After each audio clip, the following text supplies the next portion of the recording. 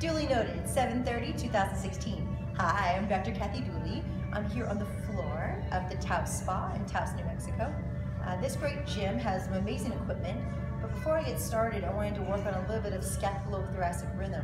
That's the rhythm that the scapula has against the thorax. And uh, this joint is particularly overlooked, and while the glenohumeral joint is usually put into play much more, but without the scapulothoracic joint rhythm, the glenohumeral joint action is actually compromised. So one way you can test yourself to see if the scapulothoracic joint is moving well is a floor slide. So as you put your arms down, your shoulder blades underneath you a little bit, keep the elbows down. What you want to be able to see happen is the shoulder blade itself stays relatively depressed until your elbow or your edge of the humerus with the ulna gets to about 90 degrees.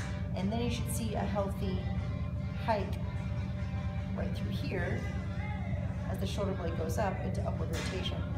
Uh, the problem most people have, if you look right here on my right side, right there, is that they will jump the gun and they'll start to hike too early, like that.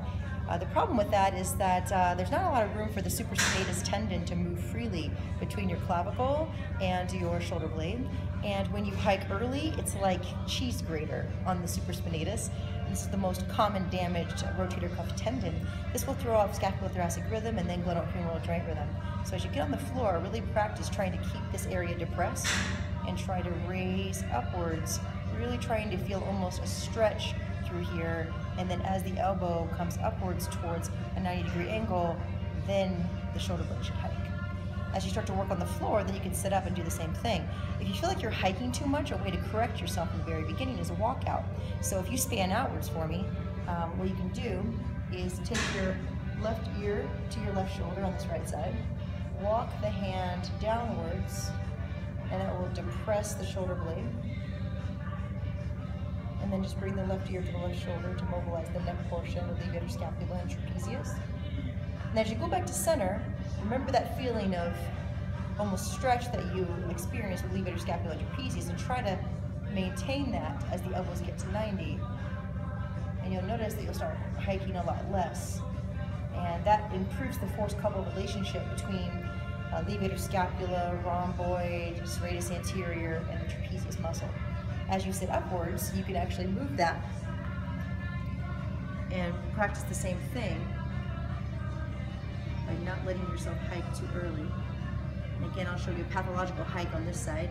If you watch the early hike, right there, you could fix that by just trying to maintain that feeling you got on the walkout. And as you go up above 90, there's a normal hike that happens. Uh, this can help prevent a lot of rotator cuff pathology, and it can also improve scapulothoracic rhythm, the scapula uh, joint that it makes with the thorax and the rib cage. Uh, this is a mostly muscular joint, so it's under your motor control, and you're going to be the one that has to change this rhythm.